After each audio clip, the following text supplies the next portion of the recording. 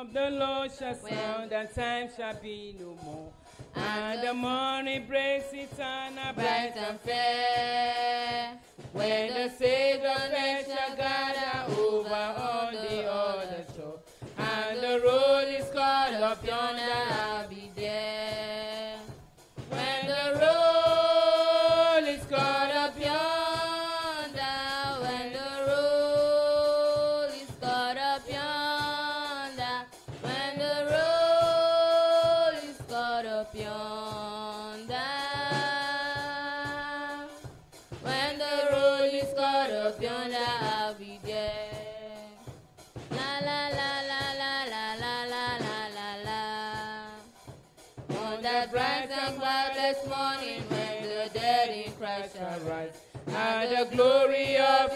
resurrection share.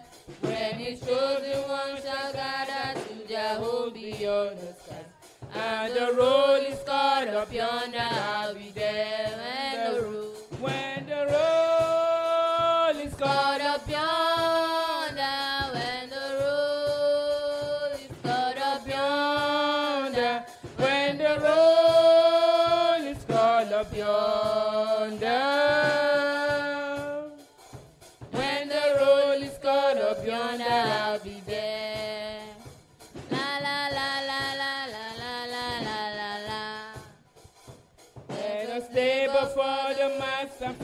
dawn to setting sun. Let us talk of all His wondrous love and care. Then when all of life is over and our walk on earth is done, and the road is called up yonder, I'll be there.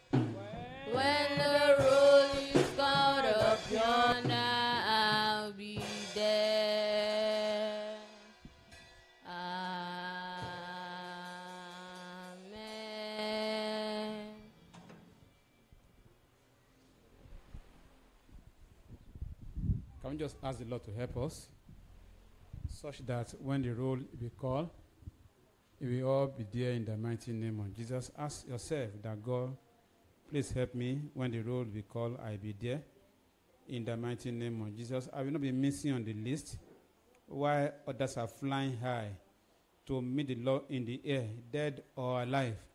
Lord, count me among the numbers in Jesus' mighty name. When angels are calling the numbers, and the roll call is being made, the final roll call of all roll calls. Lord, let me not be found wanting in the mighty name of Jesus. Prepare me and help me. Thank you, Father. In Jesus' mighty name, we have prayed. And so that we say thank you for this hour. We bless you because we know you are faithful. Thank you for the privilege of waiting upon you, of trusting you, of believing in you, and of praying to you. Thank you because you have called us to be your people, and you have made us your people, and you are our God. And thank you because you didn't call us that we might know you just here and forget about it. No, you call us that we might reign with you in your kingdom. And Lord, when the roll be called, that the Lord be counting those that are His, and they be welcoming them home one by one.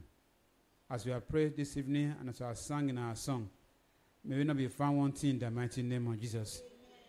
In the list I be open before you, and the angel that will sound the trumpet be calling name one after the other, and the dead be rising to meet their Lord, and the living be transformed to meet their God. Father, we pray that dead or alive, we will not miss this chance in the mighty name of Jesus. As we study tonight, speak to our heart, speak to our life. I pray for us men down their way, cooking their footstep, Lord. Thank you, Holy Spirit. By the time we are through tonight, may we all be glad we came in Jesus' mighty name. Speak your words and let our hearts be blessed by them. Thank you, Holy Spirit. Blessed be your name. In Jesus' mighty name, we are prayed. Praise the Lord. A better hallelujah. I want to bless God for the opportunity to be at His feet again this evening. May His name be praised forever in the mighty name of Jesus. Tonight we are beginning what we call eschatology study. In other words, the study of last days events. It will appease it will appease you to know that we are already in the last days. And many of the things that are foretold, I be example of those things that will happen in the last days, are happening already. And we are witnesses to these things. And they are marking the coming of the Son of God, which will begin with the taking away of the church. As we sang in our song, that roll be called, just like in secondary school those days, and I think still be done today on the assembly ground, a name of student to be called. And everyone will say, present, sir. And they will march into their classes. And if anyone's name is not found on that list, will not be allowed into the class. The same thing, a time will come, God will number his own from among the dead and his own from among the living. And the roll call will be made. And one by one, everyone will answer to his name. And those that are his will be transformed, either dead or alive, and they will rise up with the Lord to meet him in the air. It's my prayer that when that time will, will come, either we are alive or dead, we shall meet with the Lord in the mighty name of Jesus. And if the Lord tarry, as long as on this part of the world we are alive, we be alive and remain and ready for this event in Jesus' mighty name. So we're beginning this series of eschatology study. This is part one by discussing the rapture of the church, which is originally the first event in series of events that are listed for that day. If you are with us on the, I think on, is it on Sunday or Saturday? Saturday when we made that list, then you understand what we are talking about, at least some extent now. So the first thing on the list of last day's events, which the church is expecting to happen at any time, from now it will be it's honest, it will be sudden, though not completely unexpected, because the church is waiting for it. But will come a time when people least expected it to happen. The Bible says when they shall say peace and peace, that sudden destruction shall come upon them. So what we are discussing now and we are expecting to happen is a rapture of the church, which in other words, the taking away, the transformation of the church to meet the Lord in the air.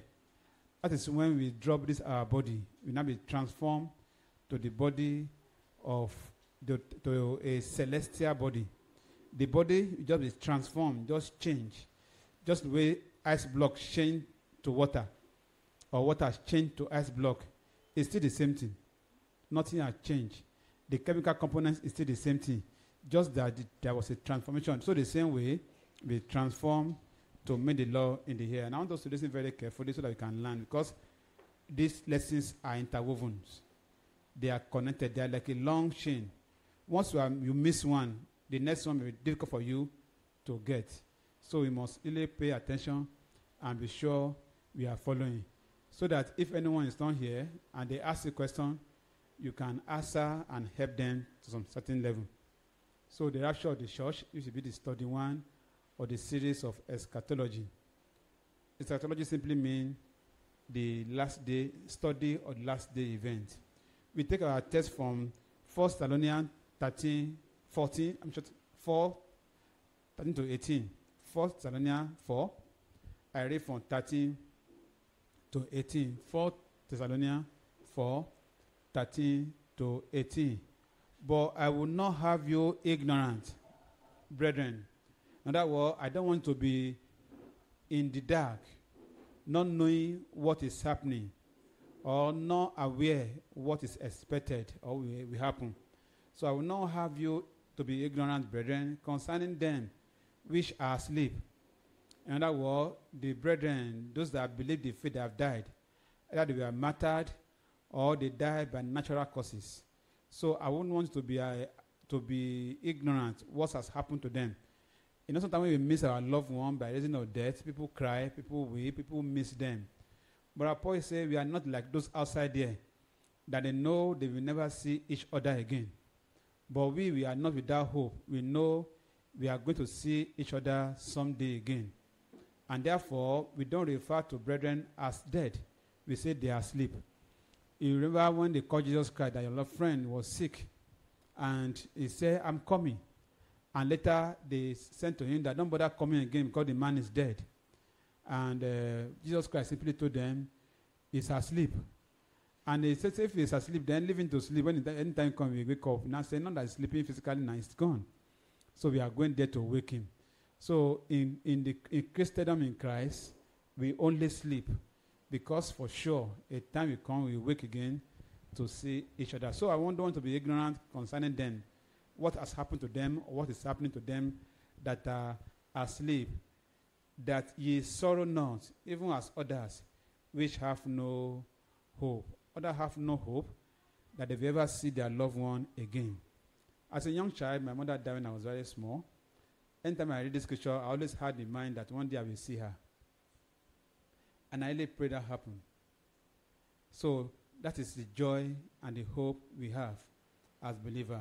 So 14 say, if we believe that Jesus died and rose again, I won't we, all believe that, correct? That Jesus can rose again, is that correct? Do you all believe that?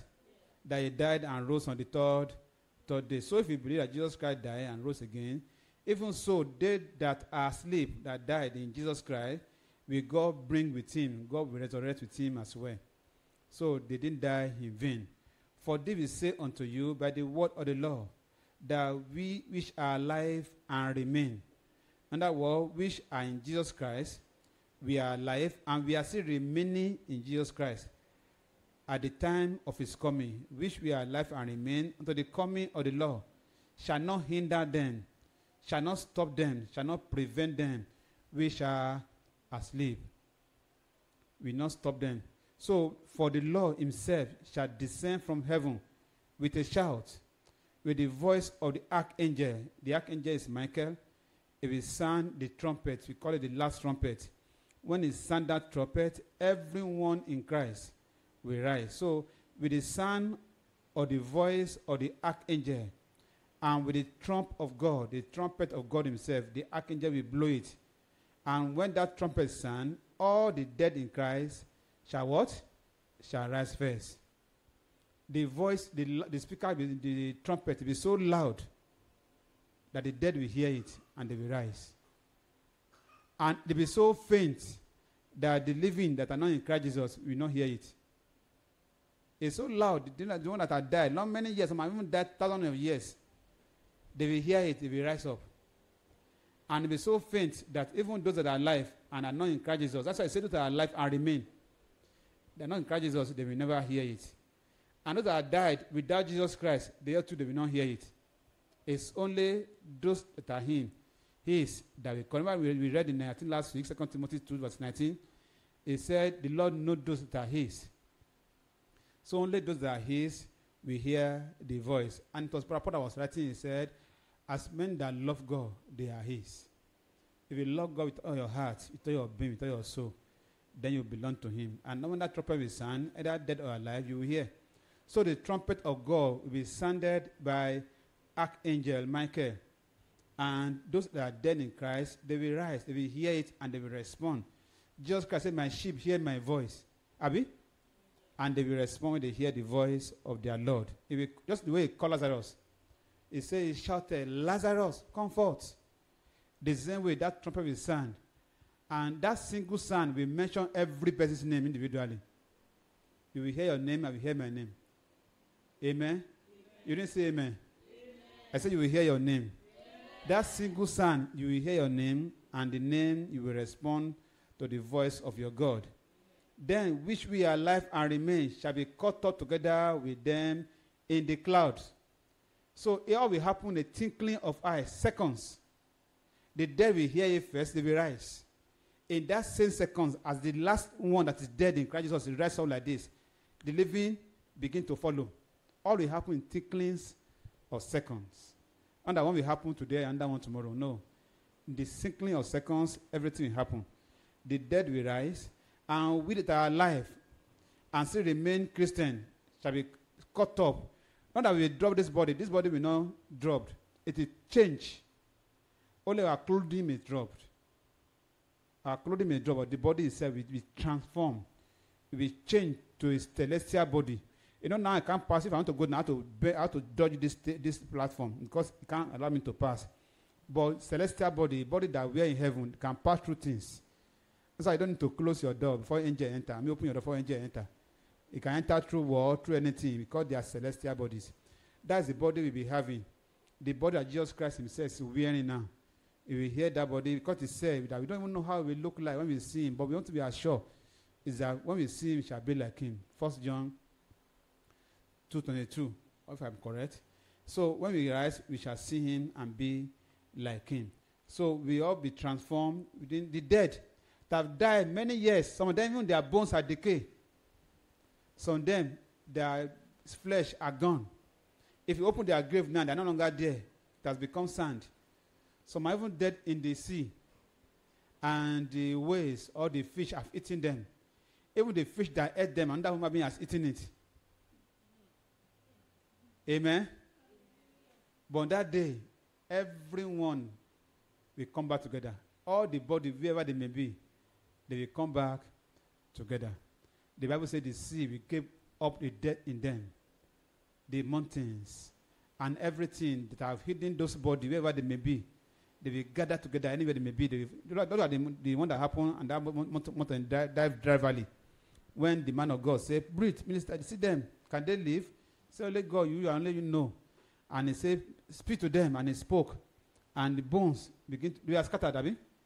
But the bone came back to bone. As at that time, there are no flesh, only dry bone. But when the Lord spoke through the mouth of Ezekiel, the flesh that was decayed, that was gone, what happened to it? It came back again. That is the same way it will happen. Even though some they are they even burn them and throw their ash to the river, everything will come back again. And they will transform all within seconds.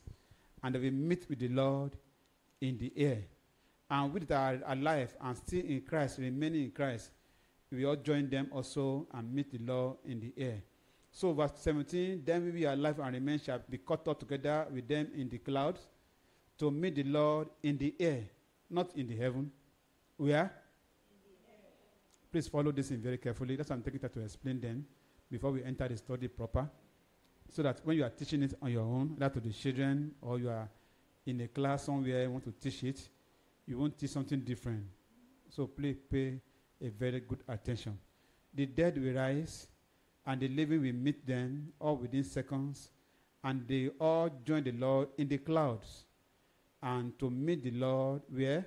In the air. And so shall we ever be with the Lord. In other words, we will not depart from Him again from that time. Now we are not with Him, it's only with us in the Spirit, but we are not with Him physically. But from this event, ever again, we shall never be separated from Him again. Therefore, comfort one another with these words. Maybe you have suffered the loss of a lost one, like myself now. Each time I read this place, I comfort myself, believing somehow, someday, we will meet again. So comfort one another with this word. I pray we all be alive. And even if we are not alive, we will be there when this trumpet will sound in Jesus' mighty name. And the living and the, the dead and the living will be transformed. and will meet the Lord in the air. We will be there in the mighty name of Jesus.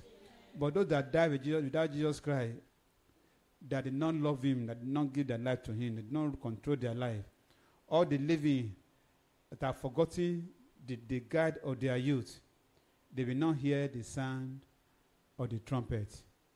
And they will never meet the Lord in the air. They will remain here. And they will remain here to their own time of judgment.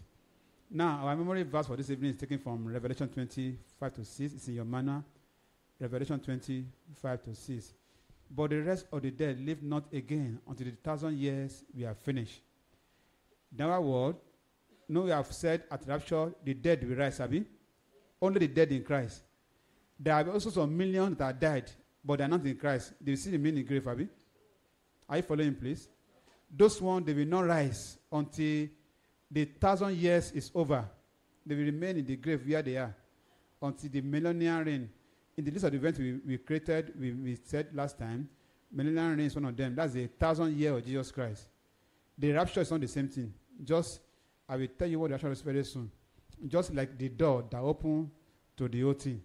So the those that are that miss the rapture, even though they are dead, but they didn't hear the trumpet because they didn't belong to Jesus Christ, they will remain where they are until the thousand years are over. And the living too, that are alive but didn't hear the trumpet, they will still be here. And they may experience the thousand years, but that doesn't mean they are saved. We can get them, we know some of these things. Now, but the rest of the dead live not again until the thousand years we are finished. This is the first resurrection. In other words, the first resurrection begin. That is the first set of people that rise from the that raised, that God raised from the dead en masse after the death of Jesus Christ is called the first resurrection. None of us will miss it in Jesus' mighty name. And I said, Blessed and holy is he that has part in the first resurrection. On such the second death has no power, but they shall be priests of God and of Christ, and shall reign with him a thousand years. In other words, if anyone miss this first resurrection, the person is automatically condemned to the second death. And that second death is, the- is the death in the lake of fire. That's what we call the second death. The, when the, the, all the enemy of God shall be transformed and shall be thrown into the lake of fire. We can see that in, um, let's see that, Revelation 21. So the first resurrection is those that go with the Lord in the rapture. Why the second resurrection is those that miss the rapture, but Lord will wake them up at their own time to be judged. And they be judged to be thrown into the lake of fire. We will not be that, among that list in Jesus' mighty name. And that's why, by God's grace, we do whatever we can do as human beings not to miss the first resurrection. Say to yourself, I will not miss that first resurrection. Say boldly in the mighty name of Jesus. I will not miss that first resurrection in the mighty name of Jesus. Amen. Now let's see Revelation 20, 20 rather, Revelation 20. I read from verse 11. Revelation 20, verse 11. And I saw the great white throne and him that sat on it, from whose face the earth and the heaven fled away, and there was found no place for them. And I saw the dead, small and great, now they are rising up, stand before God. These are not the first set of people that were rising up. These are the second one now. And a book was opened, and that book was opened, which is the book of life. And the dead were judged. And books were opened, and that book was opened, which is the book of life. The first was plural book, second was singular book. And in this book, book of life, the dead were judged out of those things which are written in the many books, according to their words. And the sea gave up the dead which are in them, and the hell and death and hell, that is grave, deliver up the dead which are in them, and they will judge every man according to their works. Death and hell, that is grave, we are cast into the lake of fire. This lake of fire is what? The second death. We will not go there in Jesus' mighty name. That's what he said, blessed, privileged, fortunate are those that did not miss the first resurrection. Because once they are partaker of the first resurrection, the second death has no power over them. In other words, they will not be partakers of the second death. Let's read that together. One to go. But the red of the dead live not again until the thousand years we are finished. This is the first resurrection. Blessed and holy is he that has part in the first resurrection.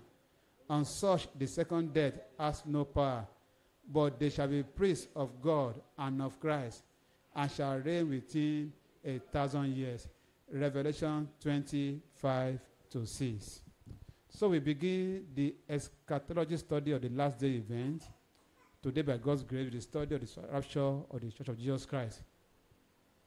Jesus has promised his disciples when he was going, and as men that believe in him of all ages, that I go to prepare a place for you.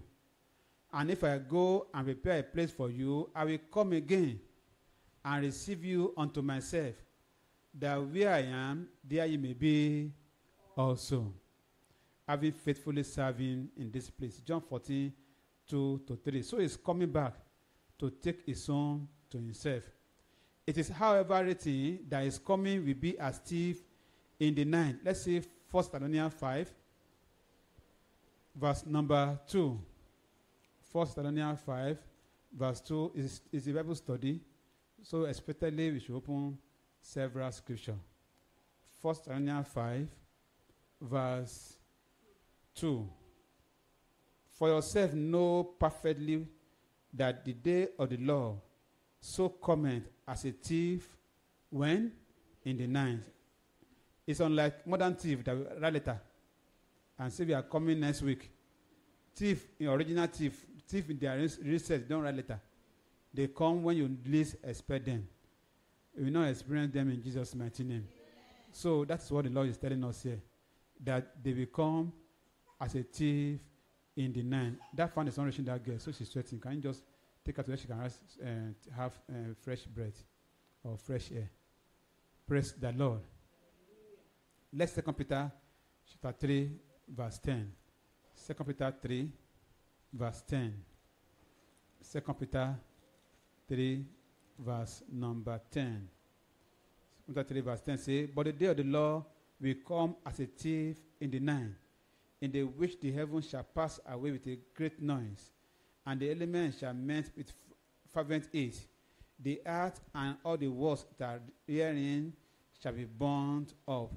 That's another reference to that. It will come like a thief in the night. Now, the day of the Lord is already referred to two different days. It can be the day of rapture, it will come unexpected, or even at the second coming too, it will also come a day when no man expects. There's a difference between the two. We're going to know it in the course of all this study. Just pay close attention. So it is, however, note, it will be sudden as the Lord will harvest the wheat separately from the tare that we studied last week. You know, he said, let the tare and the wheat grow together, Abi. But at the right time, I will separate them. And this is the separation now. And that's why when the trumpet is blown, only those in Christ will hear the wheat. The tare, they will not hear, and so they will not be taken again. So therefore, rapture can be defined as a sudden but expected, because we are expecting it, sudden taking away of believers in Christ from the earth to meet the Lord in the air. Not in the heaven, but to meet the Lord in the air, in the cloud, just up here. We see what's going on on earth while we are there with the Lord. And we will be there forever with Him. That is what we call rapture. To be picking everybody at the same time all over the world. And we pick them to Himself. Like magnet, we pick iron.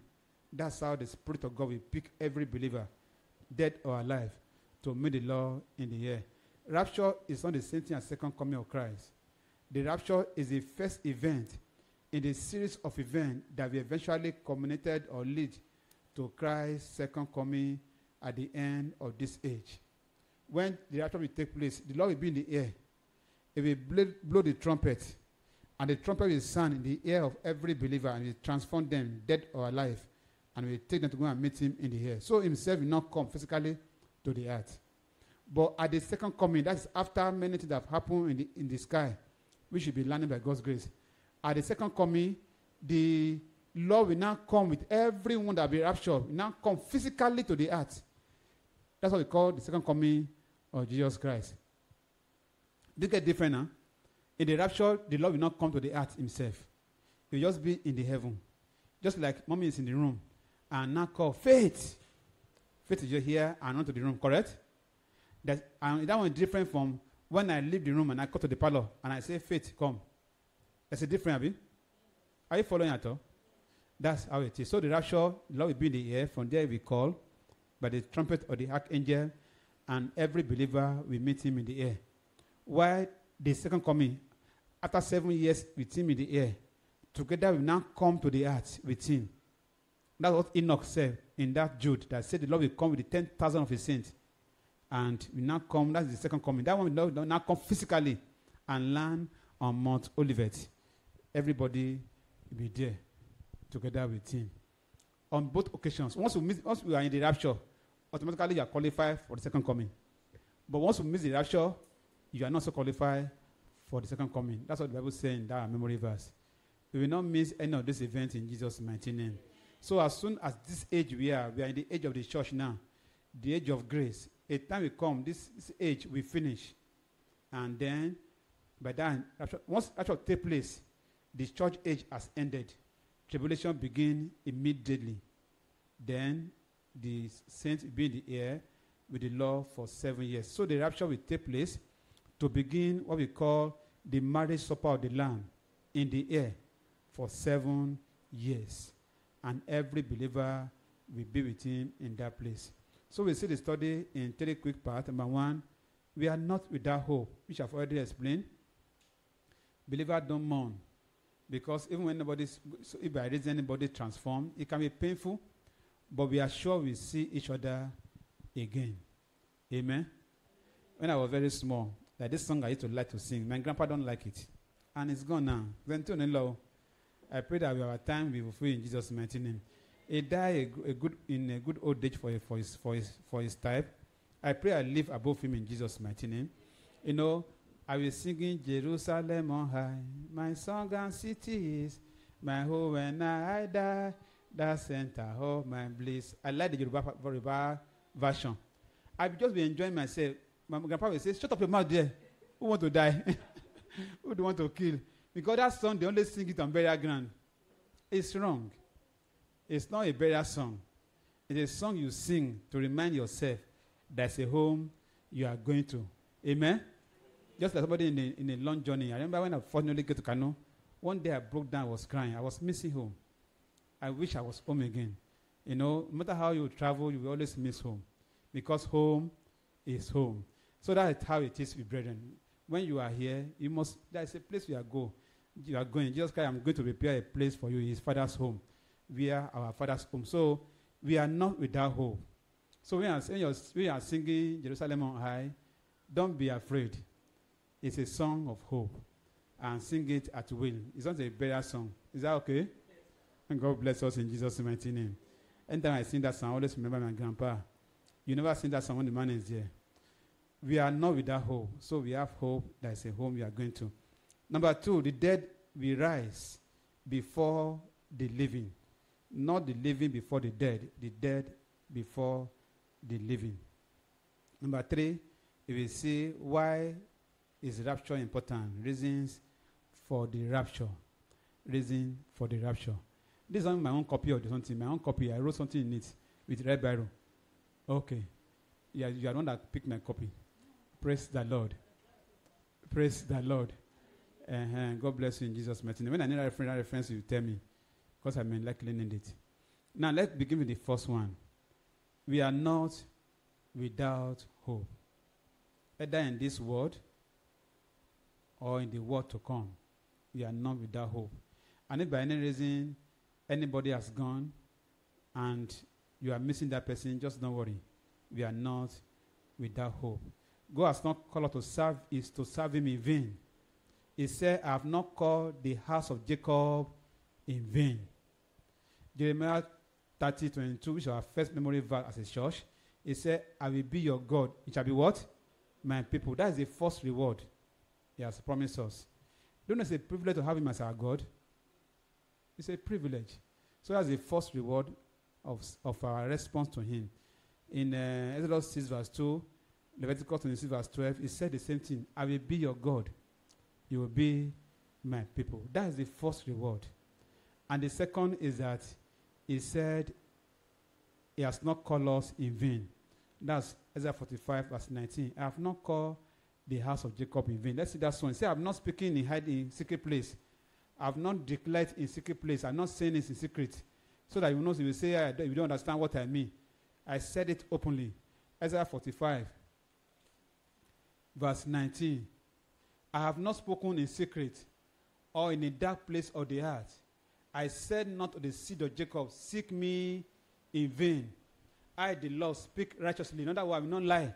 I declare things that are right. So even in this world, we be blessed.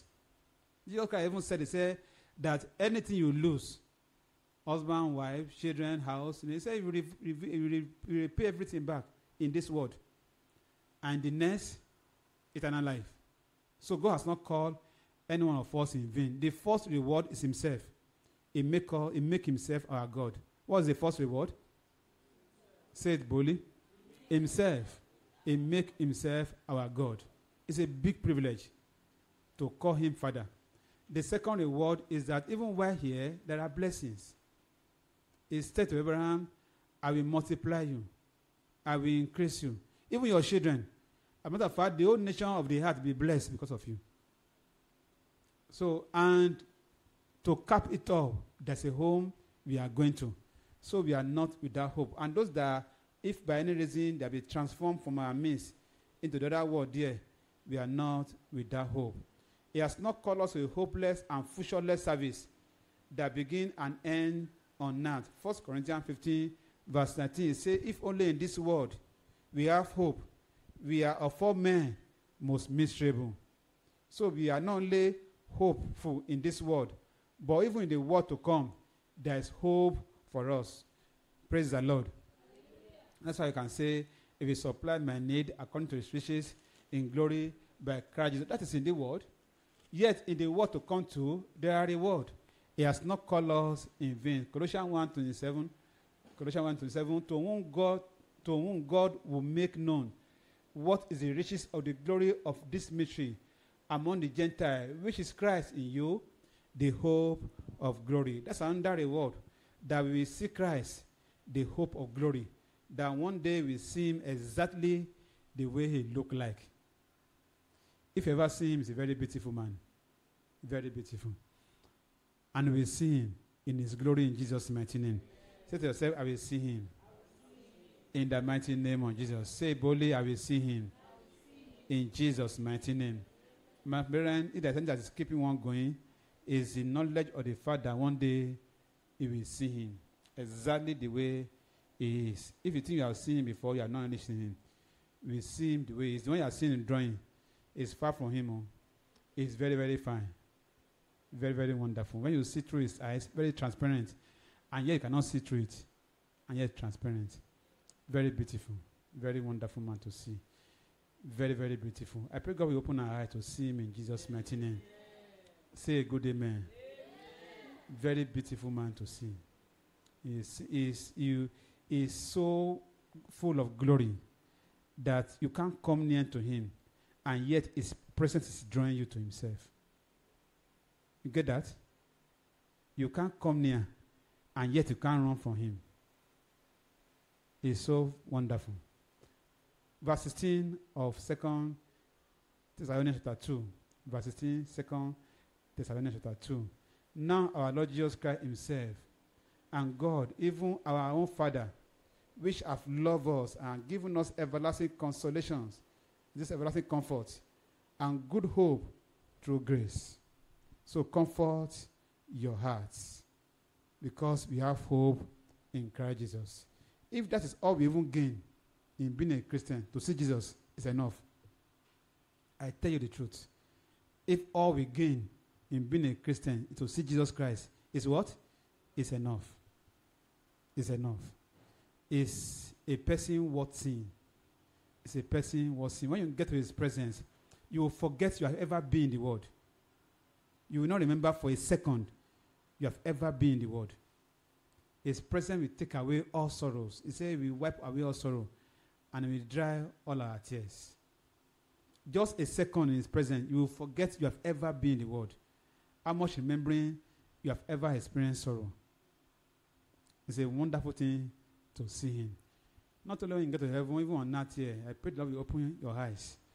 Just see a little of him in the mighty name of Jesus. Say a good amen, brethren. You will see him in Jesus' mighty name. So that you understand what I'm describing. When I'm saying it, I wish I can describe it more in a way you understand it better. But it's a beautiful person to see. Very, very wonderful to see him. Our sojourn with him will not end on this side of the River Jordan. Time is no barrier to him. He said in that John 14, verse 1 to 3. Can we see that place? John 14, verse 1 to 3. Himself said that thing. Himself made that promise. and he has never found to be a liar. What he said, exactly what he will do. John 14, verse 1 to 3. Let not your heart be troubled. That's why don't sorrow. Don't be don't allow the devil to distract your your eyes with what is happening around you. Let not your heart be troubled. Ye believe in God, believe also in me, that in my father's house are many mansions. If it were not so, I would have told you. I go to prepare a place for you. And if I go and prepare a place for you, I will come again. And that coming again is in that rapture. I will come again and receive you unto myself. Amen. And receive unto myself that where I am, there you may be also. We will never be separated from him again. Just imagine our president. If, as his son, want to enter Aso the national house, will they stop you? Do you need any permit? No, it's your father's house. As at, as at that time he's there, it's your what? Your father's house. That's how it will be for us in eternity in Jesus' mighty name. Amen. So we are not without hope. In that place, time is useless. We will be in our father's house. So death is never going to separate us from God we love and we have served it all our life. In timeless eternity, we shall also be with him. Christians don't die, we sleep. So we might rise and we might rise and rest with him in our father's house for all eternity. So Christians don't die, they only sleep. Whichever way the death come, it's only that they sleep. At the right time, we shall all meet together in our father's house. All believers in all ages, dead or alive, shall be united at his feet and in his kingdom and at the end of all things. Every one of us shall be united with him in the, uh, in the Father's house at the end of all things. And that's the hope of glory. That's why sometimes we suffer. Even though we are, the Lord has promised us many things on earth here, but the world may deny us those things. Not God denying us. Sometimes the world may deny us. But we don't too bother, even when the world denies us, because we know that one day we will be with Him. And that will settle all the problems we have ever have on this side of the world. And that's our hope. That's our joy. That one day we shall rise and we'll be with him on the other side of Jordan when we shall live with him forever and we will never be separated from him again in the mighty name of Jesus. And the Bible says we have read in, in Exodus, I mean, 4 Thessalonians 4, it says, Comfort yourself with these words. Anytime you want to feel sad, comfort yourself with this word. Anytime sorrow want to envelope you, comfort yourself with this word. Anytime the devil want to be making jest of you, see your life now. What has happened to you now? Comfort yourself with what? With this word. First Thessalonians 5 verse 10. First Thessalonians 5 verse 10.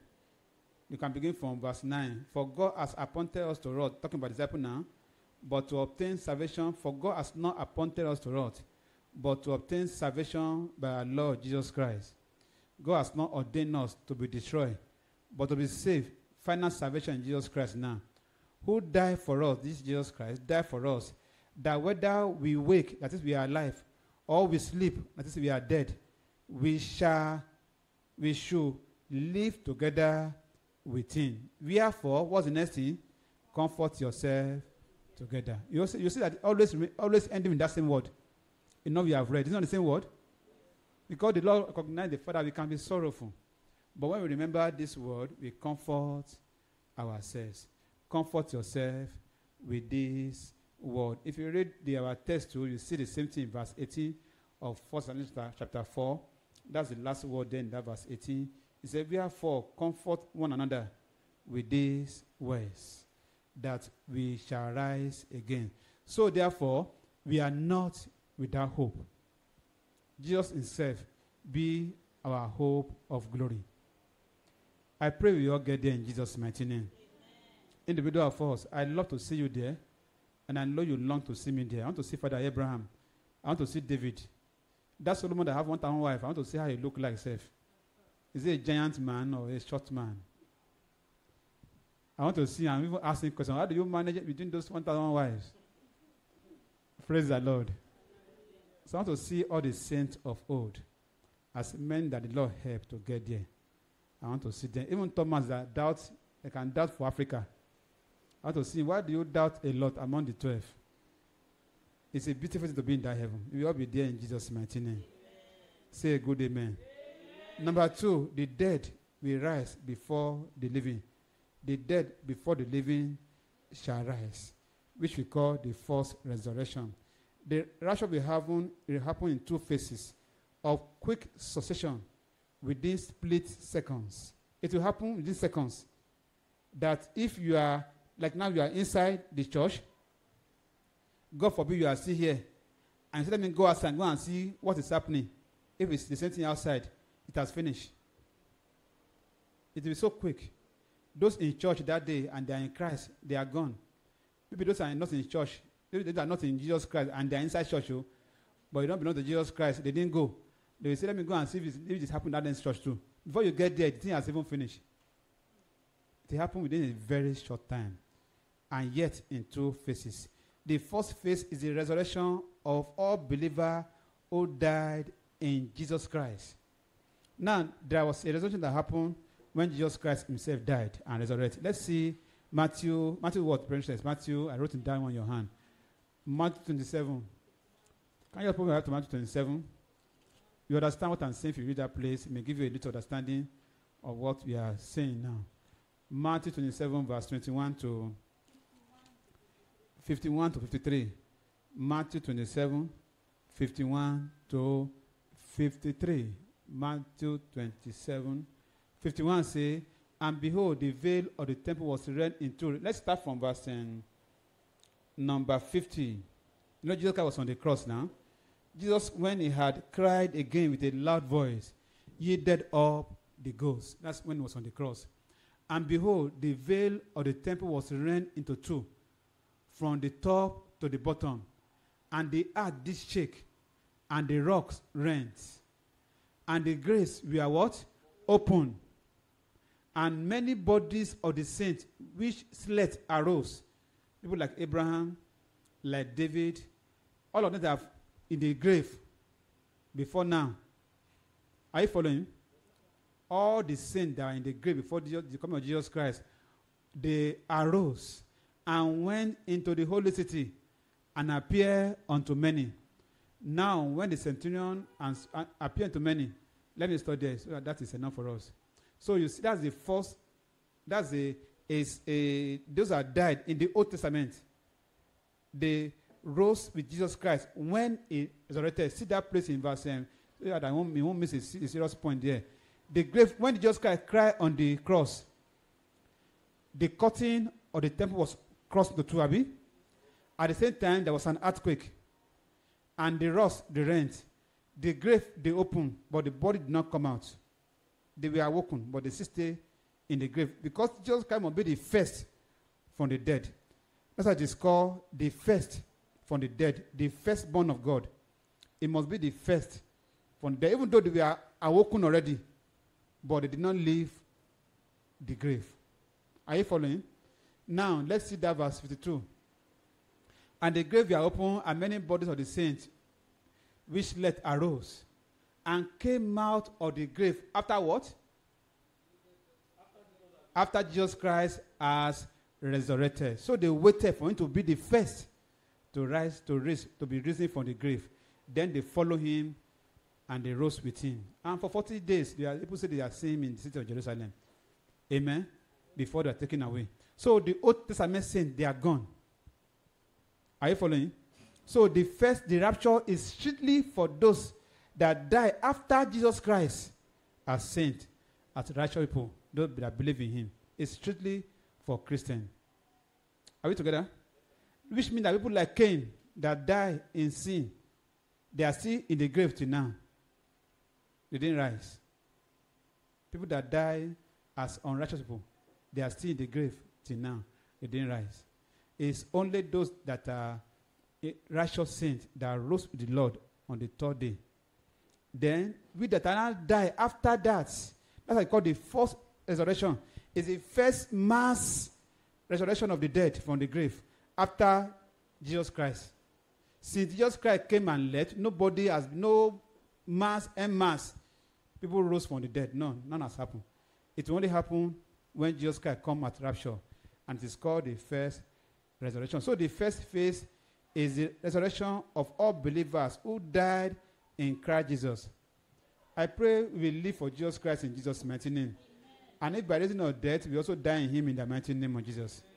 Because it is written that either we are dead or alive, we shall all reign with Him. We belong to Him. So therefore, if anybody has passed, and if by God's grace we live our life, we grow old in Jesus' mighty name.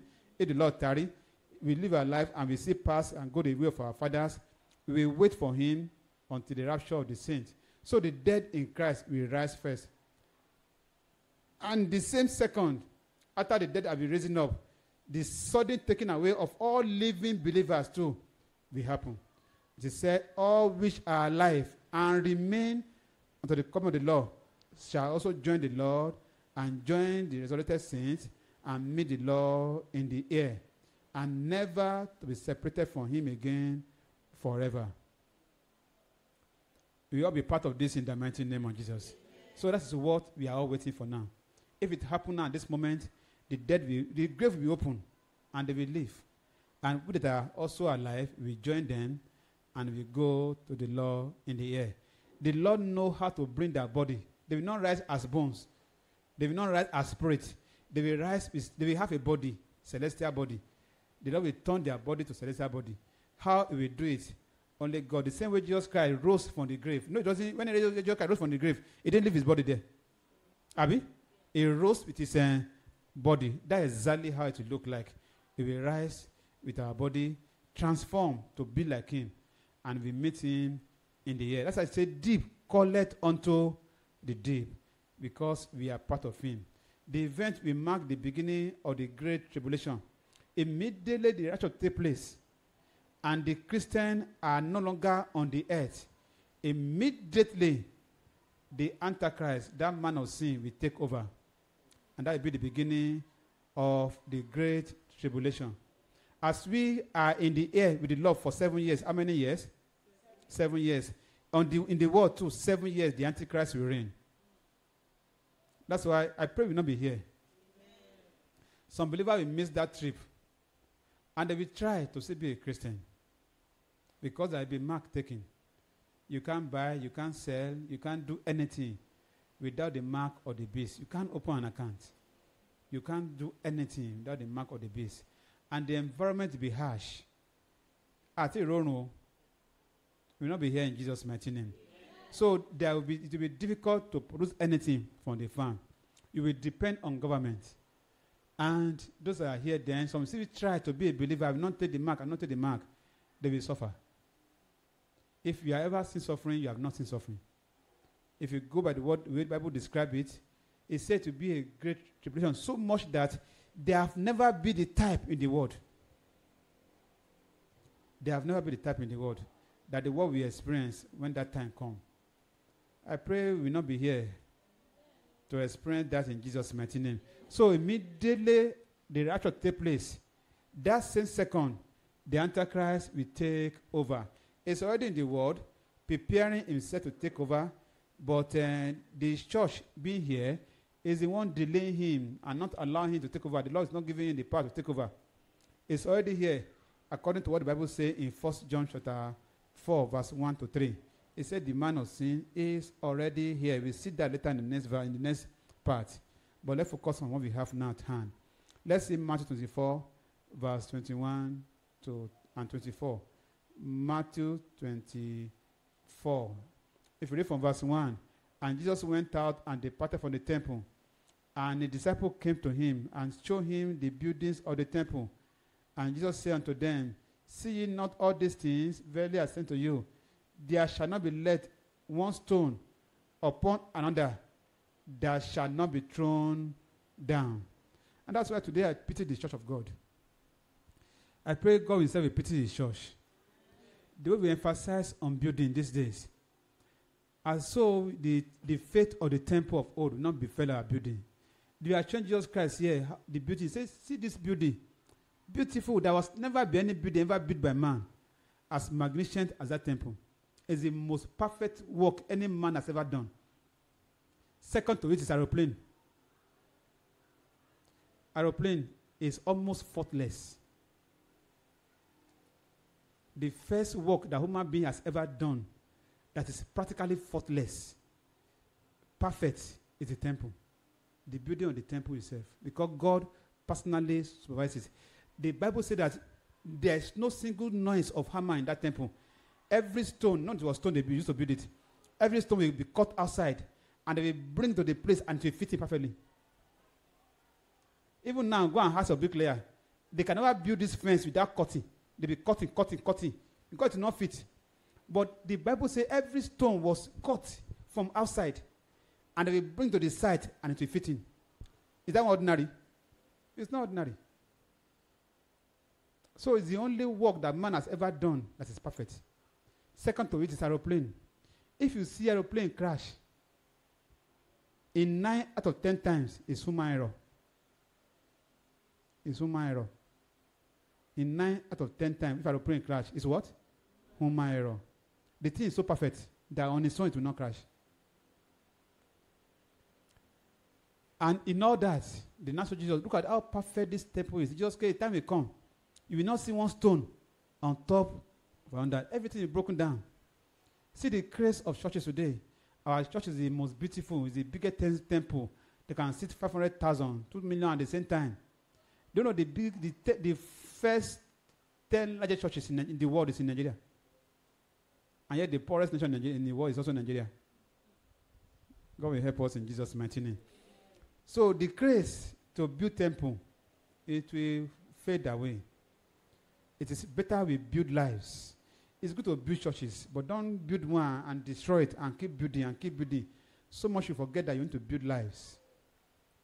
Like one of my senior pastor then was building one. The cathedral was already big, and they said want to pull it down and expand it again. People now said that in this church we need the word of God.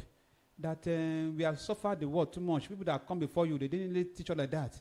We want a teacher, one that can tell us the word of God and build us and build our life. The man said, when I finish building the church, I will build life. According to what I heard that he said. The very time he finished building the church, I doubt if he spent three months before they transfer him. All the years he spent there building temple, of what use it is. The temple that I built about 10 years ago now, is it not, is it not old again now? Is it not old again? It's already old again now. But if they have built life, that life will remain fresh forever. That is important we build life. So the rapture, we the the ten, John was telling them, don't focus on the building, focus on the life inside the building. Verse 21. Immediately the rapture take place, for then shall the great tribulation, for then shall be for then shall be great tribulation, such as was not since the beginning of the world to this time. No, not ever shall be it will be a very terrible time that has never happened before or to this time. And said those days be shortened, just seven years, there shall no flesh be saved. But for the elect say, the elect in that place talking about the Jews, because it's majorly for them. Not as at now, they don't believe in Jesus Christ. So that is meant for them to be turned to their Lord. For their sake, the days shall be shortened to just three and a half years, three and a half years. The last three and a half just be shorting. Otherwise, nobody will be safe. We not be here to witness any of them in Jesus' mighty name. So rapture is the beginning of the all this event that we end with the coming of the Son of God. Blessed are all believers who are called by rapture to meet the Lord in the air, to attend the marriage supper of the Lamb. That's one of the reasons why we are rapture. Not just to meet him in the air and be looking at his face, but to also meet him and attend the marriage supper of the Lamb. We are the wife, the church. And it's also our marriage supper. You know, let me explain that a little from the woman perspective. Marriage supper is as marriage reception. Okay? Where you gather out and you treat them after you must marry your wife. Which comes first, the marriage or the supper? The marriage, I mean. Somebody say, come and attend my reception, and they're not wedded. Will you attend? There must be wedding first, abi, before inception. So Jesus Christ is we invite us to his inception, which will take place in the heaven. He told the disciples, say, I will not drink this thing with you again on the on the day of Passover. That I will drink with you in my father's. So that's the way he will drink with us and, and dine with us and the, and the marriage supper of the Lamb. But the marriage itself took place when he paid the bride price on the cross. That's why we, we always tell people in the church that marriage did not take place on the altar. As a matter of fact, church marriage is a waste of time. If I'm aware as a pastor, I will never conduct a wedding. Because it's a waste of time. The real wedding take place immediately you pay your dowry. One dowry has been paid. That's the end. That's why when mo- man dowry has been paid, she belongs to another person. Uh, I'm divorced. Come and marry me. If your dowry be paid, yes, then you are not my wife. Are you following now? So, wedding in church, just a woman, woman, woman, what do I call it now? Woman, woman making, woman activity to just make ourselves happy. After your wedding, and you come and say, Pastor, pray, pray for me and bless our union, our family, as we start working together, I can bless you. But some people say, when you pay your dowry, or to the Yahweh, but some churches will say don't touch her until you join your daughter. It's waste of time. So Jesus Christ pay the bride price. Say you are bought with a price. He paid the price the price in the own blood on Calvary. So we are married to him Apostle Paul say I have not brought you to another husband say I have espoused you to only one husband Jesus Christ we are married to him we are his wife we are his. He paid for us with the blood. He has paid our bride price. And when the time comes, he will take us to meet with himself. And it's that marriage supper, if you officially introduce us to his father, Daddy, this is my wife. And we all enjoy with him in that air. He will be there in Jesus' mighty name. Revelation 25 to 6. Revelation 20. 5 to 6. Please do whatever you can do to be part of this thing. Revelation 5 to 6. I think we have seen down before. Let's see verse uh, ni- ni- Revelation 19, verse 9. Revelation 19, verse 9. And he said unto me, Right, blessed are they which are called unto the marriage supper of the Lamb. And he said unto me, These things are true saying of God. So as men that called to the marriage supper of the Lamb, we be blessed. So we are the wife being celebrated, while the saints of old will be the witnesses that come to dine with us. Are you following? They be the one that will attend that program with us. And we all rejoice with us. We are the wife of the law. The Old Testament church is the wife of the father, the Jews. Okay? God say, I'm your husband. You have no other wife, husband. So the Old Testament church is the wife of the father. While the New Testament church is the wife of the son. Do you get that now? You are not answering me. Are you confused? Let's see Romans 14, verse 10. Romans 14, verse number 10. Romans 14, verse number 10. Sometimes when I look at your face, like you are tired, or you are thinking, or it's taking too long. And I think take too long, rather. But why does thou judge thy brother, or why does thou set and not thy brother? For we shall all stand before the judgment seat of Christ. That same marriage supper is where we be rewarded by reason of God judging all our works and give every man his own work according as they have done while they are in the flesh. So that seven years, many things happen there. That seven years, the same time there be marriage supper of the lamb, we discuss it. That same time there be judgment of the, of the of the saints, where everybody be rewarded according to the work they have done while they were in the world and serving the Lord, and how they have done it with and according to the intention of their heart, they will all be rewarded at that time. But first and foremost, before we read the word, just be there first. Abi? That's the most. But when you are there, then when David said, if they make me a gatekeeper, an usher, I'm okay. Oh. That will be a king in hell. Abi? And the man is place is sure. Matter of fact, is the only king in the Bible that God promised that when Jesus Christ come, he will still be a king. is the only king in the Bible that he will also be a king under Jesus Christ when he come on the second reign. So one man was saying, ah, that man, God bless him. He said, just make me an usher. I'm okay. Maybe that's what God had. He saw the humility of his heart. You will not only be an usher, you'll be a king. I pray we all reign with him too in Jesus' mighty name. Let's a good amen. So second, second Corinthians 5, verse 10. Second Corinthians 5, verse 10. We must all appear before the judgment seat of Christ, that everyone may receive the things done in his body, according to that which he has done, whether it be good or bad. Everything will happen that seven years. We'll be welcomed with a reception. Abi? Then, after the reception, there will be a judgment seat. Jesus Christ now sit as the husband of the church and will now judge his own church and give them reward according to their work. Crown and stars be awarded based on what everybody has done while they are in the body. In that same place. We will all get there. Lórúkọ Jésù. We will not get missed on the way in Jesus' mighty name. So is our husband. He has paid the price for us. And having paid that price, we are his permanently. Lastly, reason for the rapture. Why is rapture necessary? And why is it important? Since the old saints have gone with the Lord in, when he resurrected, then those that remain after that, that have died, and that will still be alive when he come, how do we go with him? As at the time Paul was writing this thing, he was thinking he'd be alive when Jesus Christ come. He was writing with that notion. But somehow he left. Who knows? Maybe it will be alive when it happen. Who knows whether we go? But it doesn't matter that we are alive or dead.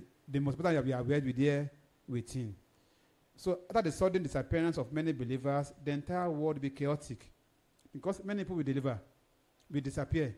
Many daughters, many sons will disappear. Many suckling, while sucking will go. Many wives will go, leaving their husband.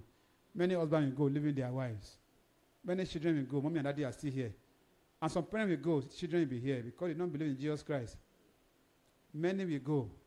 He said one will be taken, another one left. Two will be in the bed, one will be taken, another one left.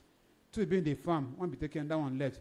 Not that the two cannot be taken, but it's only the one, the one that are ready. And even the two not may be taken. Like one of our, our father in the Lord said one time that you saw in a crowd of million, only is it two or three was rapturable. I pray when the Lord will come, we will not miss that opportunity in Jesus' mighty name. So when people disappear suddenly, the entire world will be chaotic. The economy and the corpus will, commerce will collapse.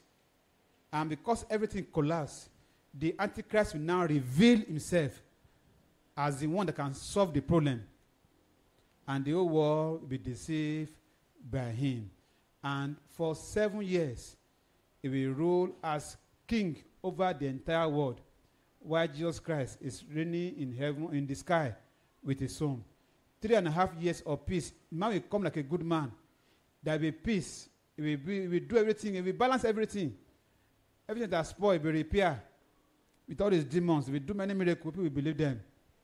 Then three and a half years will come again. He will now show himself in rich color.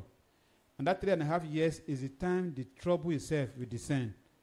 And that time, it will be too bad for anyone that is here. Second Thessalonians 2, verse 3. Second Thessalonians 2, verse 3. Second Thessalonians. So the Antichrist is not here now because me and you are still here, the church. As soon as the church is taken away, then himself will be revealed. Second Thessalonians 2, verse 3. For Am I in the okay? I'm in the first. Sorry. Two verse three. Say, let no man deceive you. Please don't be deceived by any means. For that day shall not come except there be falling away first. Many people will backslide. Many people will be tired of the church. Many people will feel disappointed. Many people will feel God is not answering their prayer enough. Many people will fall away. And that's one sign to show that the rapture is about to happen. Say, the day will not come except there come first falling away. And it's happening now. Sure, you know that?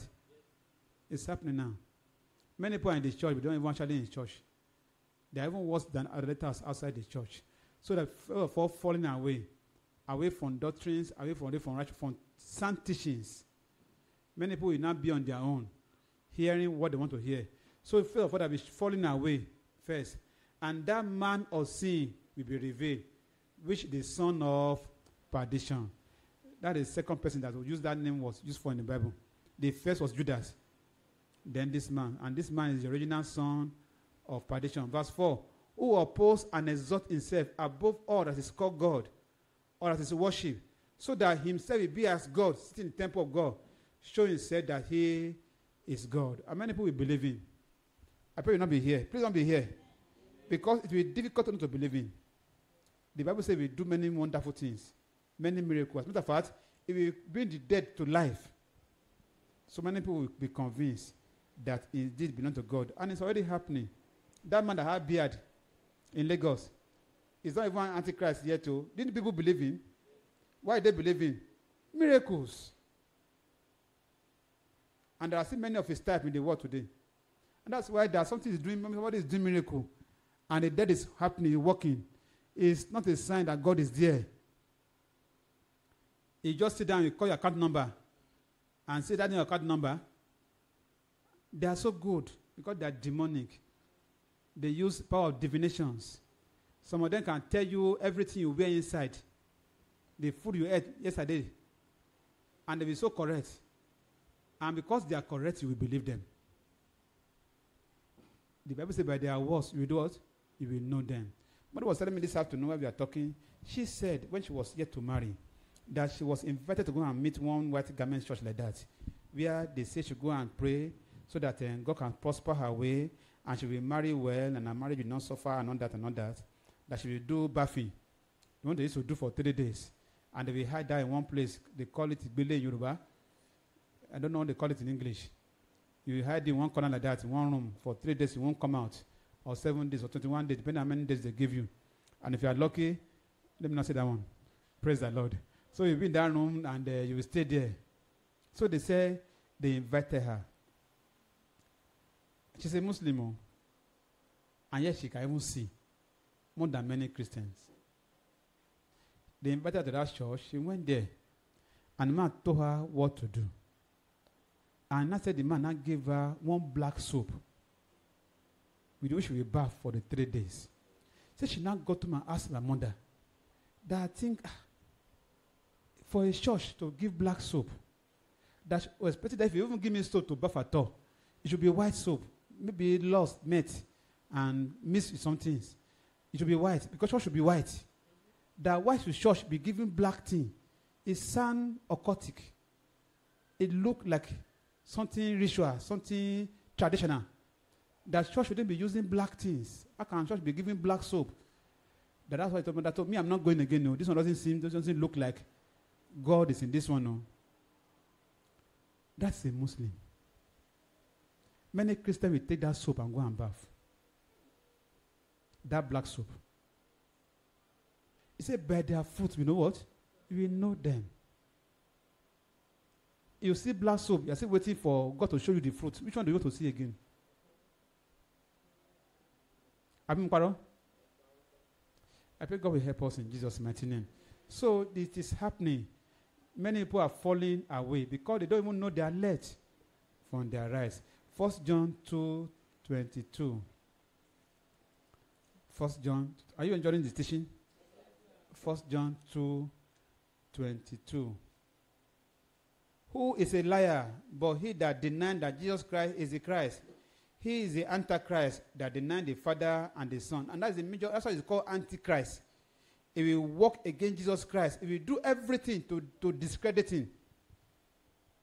Everything to discredit him. And many will believe him. See, first chapter 4, that same place, first John chapter 4. Let me read from verse 1. Beloved, believe not every spirit. Don't believe every church, every prophet, every reverend. Don't believe every, every spirit. But try the spirit, whether they of God. Because many false false prophets are out in the world already. Hereby we know the spirit of God. Every spirit that confess that Jesus Christ is coming in the flesh is of God. But every spirit that confess none, that Jesus Christ is come in the flesh, if that, that was the only one thing they will say. Say, Jesus Christ is spirit. That's why he can die on the cross. That's why nobody can cash in. He wasn't a human being. Say, the any spirit that deny that Jesus Christ come in the flesh, it's not what? It's not of God. And that is the spirit of the Antichrist. Wherefore you have heard that it will come. Even now, it's already where? In the world. It's already in the world. What is delaying its manifestation is the church. Period. That's why we have not seen him in action. As soon as the church goes in rapture, himself, he manifests himself. You can see other references on their own. So, why is rapture? Number one, to gather all the saints of all ages, since Jesus Christ till now, dead or alive. That's why there will be rapture. Jesus Christ will gather the, the wheat and separate from the tare. So, either dead or alive, all the saints. Saint there doesn't saint there is as men that believe in Jesus Christ, we are called saints. So that when you say the word saints, you, you only think about holy people. It's holy people actually, but they are holy because Jesus Christ washed them in his blood. Amen. Two, to be judged at the bema seat of Jesus Christ. That's why there will be um, rapture. After the, after, after the reception, then we'll sit all of us down. He will give us our reward. That's what we call the bema seat of Jesus Christ, where we all be judged. We see that too in the course of this uh, study. I think Faith wrote that one that day, Abi. Yes, God bless you, my dear. My good secretary. Number three, to attend the marriage supper of the Lamb. I've said that already, Abi. That's one of the reasons why there will be rapture. Uh, all the references, I've seen them already, that's I'm not opening them again. That may attend the marriage supper of the Lamb. If you have ever attended any marriage reception, please attend this one. You will see there's a difference. Not only yourself will be involved as a wife, and God and Jesus Christ will introduce you formally to his father. Daddy, this is the woman or this is the wife I bought with my blood. And will introduce her to his father as a single bride. Amen. I, I expect to see that day. I want to see the father himself. Say to yourself, I want to see the father himself as a, as a, as a, as a bride, the wife of his son in Jesus' name. And you will see Abraham. You will show Abraham, Abraham, come, come and see my wife. You know, they are the, they are the invited guests. We are not the guests, we are the wife. Abi? The invited guests are the angels and the saints of old. Abraham, come. David, king of Israel, come. Come and see my wife. And formally, we introduce us to them. And then he will now sit us down, give us our reward. The day you sang with your heart, you will get reward. The day you sang and you are angry with your heart, the power said, Wait, talk to me, I don't like it. Or you are singing and you say they will not have voice now. You modulate, go up, go modulate, and they clap for you. You are praising yourself. You will receive the word. God, just be there first. Abi? Many people will not even get there to start with. I will be there in Jesus' mighty name. So, number four, to reveal the wicked, the man of sin. If we did not go, it will not be revealed. It's already in the world, but it has not been revealed. I will not wait to be, to be revealed in Jesus' mighty name. Then to be with Jesus Christ forever. To prepare the saints for the second coming of Jesus Christ. It is said that in Jude that the Lord will come with 10,000 and thousand of his saints. So the second coming of Jesus Christ is that time that we now come together within after seven years. Now come physically together to this world again. That is what we call the second coming of Jesus Christ. Amen. To prepare them for the millennial reign of Christ. When we come with him, that second coming together. When Jesus can now come physically again, second time. That is when we now, from that day, we now start 1,000 years of reign. Peace. No, death will be arrested. Devil will be arrested. All the demons will be arrested. I want to cause wahala. They will jail them. So that nobody will commit sin throughout that 1,000 years. Because the spirit of difficult, that devil are making not to commit sin, be arrested then it will be a thousand year of peace. There will not be a single accident. Not a single one. Nobody will die. For that 1,000 years, nobody will die. The entire world will be at peace. God will now, that's what Jesus Christ planned for Adam originally in garden as it, it means. Jesus Christ will now come and do it. You know, it's, it's the last, second Adam. Uh-huh. In the, the, is second Adam or the, or the, the, the last Adam? So, sorry. Second man but the last Adam is the last Adam. So we now come and show what Adam failed He's not come and do it for 1,000 years. There be peace on earth. So all of us will reign with him. If you feel like going to Jerusalem, can say, go and see the Lord. You are there. I want to go and see America. Know you are thinking about it, you are there. You'll be a terrestrial body. Amen. You are there. Oh, I want to go and see Jesus. I want to go and play with him. You are there. This afternoon, I feel like talking to Michael. Michael, I want to go and talk to him. Before you are ready before Michael. And you will. Oh, I want to go and see Father Abraham. I want to go and why do you even obey God when he call you? Just went, not seeing, not knowing where to go. You will be there. I want to go and see Mama Sarah. To go and talk to Mama Sarah. Why, why do you chase that lady away? Are you two, you are jealous, you? And he will explain things to you. You will be there before her. We all be there in the mighty name of Jesus. Please say a good amen. So that is what is, that's why there should be rapture. Without that, the second coming of Jesus Christ will not take place. To prepare them for the millennial reign, to take part in the first resurrection. That's what I mean to write there. To take part in the first resurrection. The only the dead resurrect. The living don't resurrect. Abi? The living be transformed. So if we are, if Jesus Christ tarry, we grow and we die, we take part in the first resurrection. But if we are alive, we only join those that have the first resurrection, and go with the Lord in the air. So to take part in the first resurrection, that we are, if you are dead, if you are alive, just be transformed and join the dead in Christ on that day. To harvest the wheat from the tares we see before in Matthew 30, 31 and 38. Then to begin to kickstart the tribulation, which is also called Jacob's trouble. Jeremiah 30, verse 7 is called Jacob's trouble. And all that event of the last day that will end with throwing the demons, devil, and the antichrist, all of them to the hellfire, and everyone that believe in them. We begin with rapture. Ma? That's another one. That's, that's when we be put before the 1,000 years. So, after, after that, amen. So, when everything I, I said, the first is the rapture. The last thing on the line now, I've done many things in between. The last thing on the line will be to cast the devil and all his cohorts into the lake of fire. Then everything is ended. You will all be there in Jesus' mighty name. But there are many things in between the rapture and the final judge, judgment that will throw everything that belongs to hell to hellfire, which is lake of fire. Between those two, there are many things in between, which we already studying now. I pray as the Lord has studied this thing, God will open our eyes to them in Jesus' mighty name. There are many things can see out of this place to introduce us to the saints of old. Abraham, David, Enoch, Abel. We introduce all of us to them. And to and most importantly, to introduce us to his father. Daddy, this is the person I die for. And we'll be there in Jesus' mighty name. So that is the rapture of the church. It's the gate that open to what will happen on the last day. The rapture, marriage supper, and Bema seat of Christ, coming together, reward, coming together, introduce us to the Father, then coming together with him on the second, second, um, second coming, which is the tribulation. There be Armageddon, and the the uh, the beast will be arrested, and the which is the Antichrist thrown to thrown to the lake of fire. The devil will be arrested, thrown into the bottomless pit to be going there and be going there for that one thousand years. We reign with Christ. After which we go back with him again. We leave the world for some time, and the will be released again to tempt them again. After that, just and the whole world will be summoned again, second resurrection, and everything will finish on the lake of fire. But we are already with the Lord, and we will never leave him again in Jesus' mighty name. Praise the Lord. I don't know if it is clear enough. Any question, please?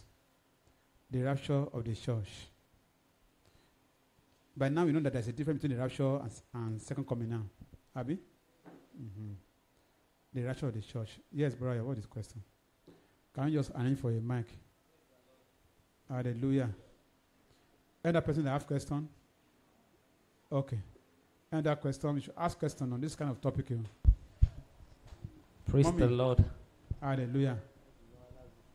Okay, Sir Brian. Uh, sir, I want to ask about uh, what is the significance of River Jordan? Yes, because I could remember then we always we watch a film then that when the man died, he first when the spirits, the ghosts left, he stayed at River Jordan. So an angel now came to pick the man to cross that. Uh, so I want to ask, what is the significance of that River Jordan to the rapture and resurrection too? Actually, Jordan is just like a term that we use to describe the side we are in eternity. You know, we are also in eternity now. This eternity that has to do with time. Okay? There's a timeless eternity. There's a time, the work continues. It has no end as long as God wants it to continue. Abi? So it's eternal. Why there's a timeless eternity where there is no time. Now, when the children of Israel were coming from, the, from Egypt, when they are come from Egypt, the last barrier they had before they crossed to the place was River Jordan. Remember that? So they had to cross that river before they entered. That was where Moses reached. And God said, You cannot cross. And God allowed him to see, see that side. Just God took him to the highest mountain. And from the mountain, you can see above the river, he saw the promised land. But he said, You can't go. This is the farthest you will go. So from that time, believers, Christians of all ages, always refer to the side we are now when we are alive as the side Moses was as River Jordan. That when you die, we will transform to our own promised land, which is heaven now. Do you get now? Just as Israel crossed to their promised land. So we are on this side of Jordan now. We are on the earth. That's why there are films that just show that you are there before. Angel came and come and transport you. Just a way of describing how it look like. So we are on this side of Jordan now. We can only gaze, like Moses gazed, and saw the promised land, which we can only imagine how it will look like through what we read in the Bible. We have not seen it before. Even when you see the vision, you are not even seeing it all the same. Okay? We only gaze and see it. But a time will come, we not only, not it don't be vision, it won't be dream, it will be real. We see it in the real sense of it. And that's the promised land, the heaven we are going to. Is it clear now? That's why we always use that terminology. Okay. Mommy Kenny. Any other question?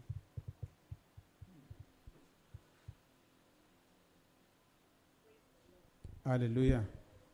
Praise the Lord. Hallelujah.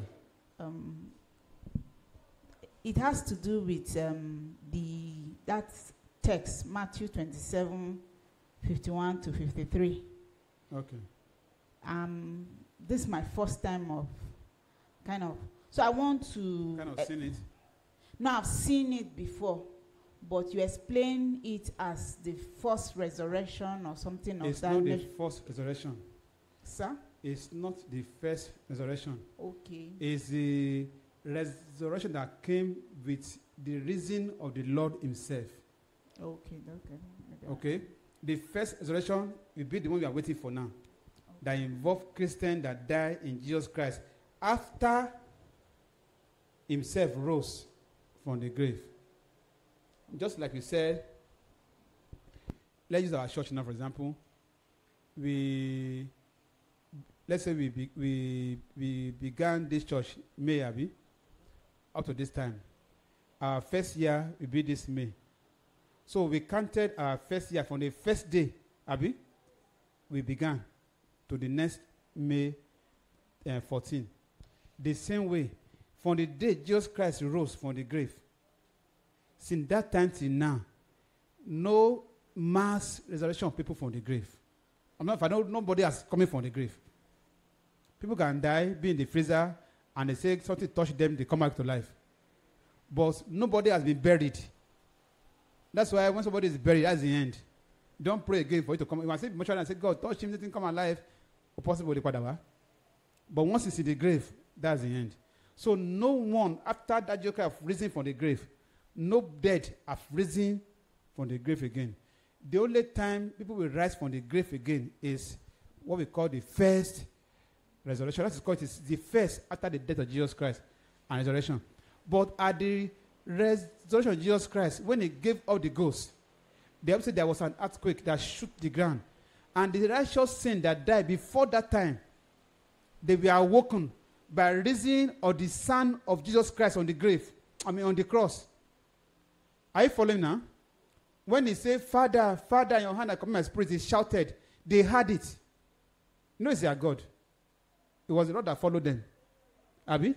So they heard his voice and they woke up. They opened their eyes. They were wondering, what happened? What do we hear? But they remain in the grave. Because Jesus Christ must be the first that must come out from the grave. And it is then when he was uh, rose up on the third day, they now came out from their grave themselves. During the first resurrection, they took part with Jesus Christ in his own resurrection. They have risen, they have gone with him when he left. They are no longer there, they've left with him. Are you following? They didn't go back there and go and sleep again. I know they left, they've gone with him. When he went to the, to the air, to the Father, they've gone with him. Where he kept them, only him knows. But they didn't go back to the grave, they left with him. And those that will now believe in Jesus Christ that died will now raise with him again at the rapture. Amen. If not that he told us that we'll be in the air with him, ourselves will not even know where we will be. Are you following now? And the air will be, is it air over Nigeria or over America, over Jerusalem? Only him that know that one. But we know that we will be in the air with him. So those are other mysteries that we are not told. But the, those that rose with him at his own resurrection are the saints of old, Old Testament saints. But the New Testament saints are waiting for him to call again. Know, they heard his voice on the cross. They rose with him. We now we are waiting for his voice again by the trumpet to rise with him. I want to this clear now. Yes, we are waiting for the first resurrection. As at now, me and you are not even waiting. It's the dead that are waiting. It's for the dead. As I say, the dead in Christ, we do what? We rise first. It's only the dead that resurrect. But we that are still alive and we are believer, we just be changed, we transform. No, we cannot fly now. Jump and see. You come down. But just will now change that your body. Okay? You now fly with him and now go and meet him. But if for any reason the rapture is delayed and we will grow old and we die, will now be part of those that are waiting for the resurrection. And if anybody still alive that time, they will now know that will join us when do you get the two now? So the dead are waiting to be resurrected. They are sleeping. So Jesus must come and wake them and come with him. While the living, they're not sleeping. They just transform and go and meet him. And if it tarry, which we don't know, it tarry, or we are still alive, then if you grow old and die, you go and join those that are waiting for the first resurrection. Is it clear now? Praise the Lord. So that's how it is. God bless you in Jesus' mighty name. Thank you. Can you bow here and say, Father, please prepare me for your coming in Jesus' mighty name? I will not miss this rapture in Jesus' name. Either dead or alive, I will be part of it. In the mighty name of Jesus. If I'm among the dead, I will wait for the resurrection. If I'm among the living, I will be transformed and raised with, and will transform and fly to go and meet my Lord. Either I'm alive or dead, Lord, count me among those that will go with you in the mighty name of Jesus.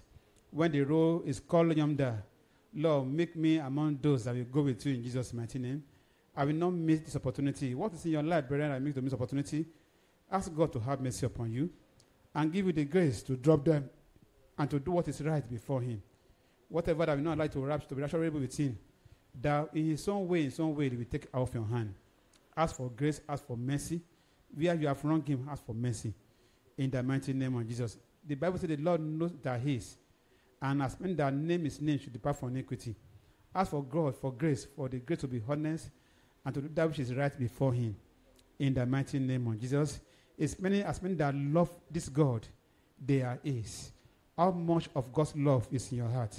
Ask for God to put his love in your heart, that you will love him with all your heart.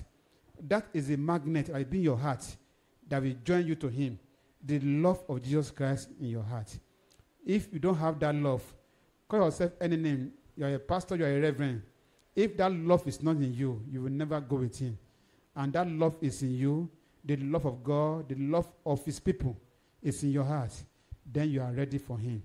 Ask God to prepare you for his second coming by preparing you for rapture in the mighty name of Jesus. And that you go home to study this in your own and teach others as well, that God will expand more to your heart in Jesus' mighty name. Thank you, Father. In Jesus' mighty name, we are praying. Father, we would like to see you. We would love to reign with your Son, Jesus Christ. We would like to be numbered among the saints, among the bride of Christ. We would love to be numbered among those that be introduced to you as Father. We would love to be counted among those that, be, that whose price, by price be paid by his blood on Calvary. We would love to be numbered among those that are alive and remain. And if by reason of death, we would love to be among, number among those that be resurrected with you. The Lord, we pray that our life or death, whichever state you meet us, make us ready for your coming in the mighty name of Jesus. I pray, Father Lord, that nothing in this world, no height, no valley, no suffering, nothing, and no riches, no matter how sweet, will take us away from your hand in the mighty name of Jesus. Let your love in our heart be strong. So strong that nothing will separate us from you. Thank you, Holy Spirit. As we go, please speak to our heart and speak to our life. Others are not here. In your own way, speak to their hearts and teach them these things. Thank you, Holy Spirit. When the roll call shall be done, and the angel will sound the trumpet, and that single trumpet, every name of those that yours be mentioned, may our name not be wanting in the mighty name of Jesus. Brethren, you will hear your name. I will hear my own name too. And together we rejoice each other. And we say, Wow, you are here, I am here. That will be our lot in Jesus' mighty name. Thank you, Father. In Jesus' mighty name, we are praying.